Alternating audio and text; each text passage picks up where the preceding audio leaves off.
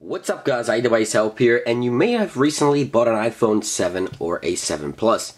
But as we know, there is currently no jailbreak for these devices and there's no way to customize them. But in this video, I'm to show you how to get around some of these limitations and customize your brand new iPhone 7 or 7 Plus without the need of a jailbreak. And by the way, this works on other devices as well. But let's go ahead and show you how you can customize your iPhone or iPad or iPod Touch running the latest iOS 10 without the need of a jailbreak. Alright, so first let me go ahead and show you how to get these spaces in between the icons. These are blank icons in between the regular custom icons. As you can see there, I can X them out to their blank icons. We're going to go to the last page on wiggle mode. So we're going to go do that and go to the last page, take a screenshot of our iPhone where there's no icons, just like that. Then we can head back and go into Safari. All the links are going to be down below. So once you go into Safari, click on the first link, it's going to bring you here. This website here is going to be the one that's going to allow you to install those custom blank icons. So click on the first link there, customize. Then click on custom mode and if you have uploaded an image before using this website, you won't see the initial upload. What you're going to do is click on modify. If you don't have this page here, it's going to ask you to click on modified. Then choose a file. And now we're going to select the screenshot that we just took. So go to screenshots and select the screenshot. Now click upload, just like that. Now this is going to upload the image of the home screen that we just took in order to create those custom icons to place them on the screen and give it that effect that there's no icon there. So it's really cool. Alright, so here we are. And as you can see here, from the home page, I selected this entire row and this entire row down here. So let me go ahead and remove some of the ones I have here. So let me remove this one here, delete it. Now I can go back into Safari and I deleted this one here, 2 times 1, that particular section there. Go ahead and add it by clicking on the one that I want. Go ahead and click on the button down here where it says share. And here I'm going to select add to home screen. Right there, click add. It's going to add it to my home screen. Just like that. Now all I have to do is move it and everything falls back into place. Magic.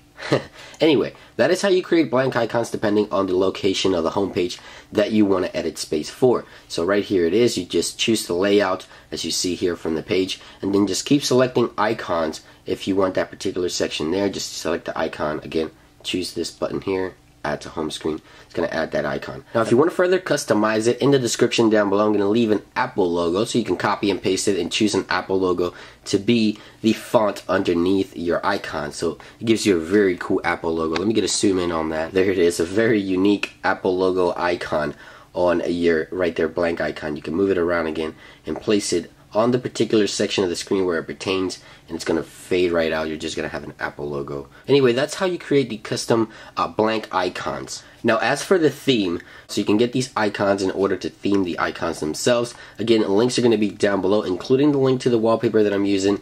But the second link should be here, the theme. These themes can be applied without the need of a jailbreak. I'm using this one here right now. All you have to do is select the icons that you want from this theme. So once you select the theme that you want, you can scroll down. Right here you have home screen lock screen. This is going to be wallpapers for the theme. And then you have the application sections. This is where you're going to select all the apps that you want to install. So if you want to install the app store calendar camera mail you know you select the applications that you want to install. Now keep in mind you do have to have installed the app that you're selecting or else the extension will not work. These are extensions not apps. So right here we keep selecting. Once we select all the ones that we want just click install and it's going to redirect you to settings. Once you in settings, just click install, enter your passcode if you have one. Once you do, go ahead and click install, install, and click done. And this is going to install the theme on your device. So as you can see here, now I have a bunch of icons, repeated icons, because I installed it twice. All I have to do to remove any theme is just go back into settings, general, profiles, and look for the theme that I just installed, click delete, enter my passcode, and just click delete and that's going to delete the theme. Just like that. So now I'm back to normal.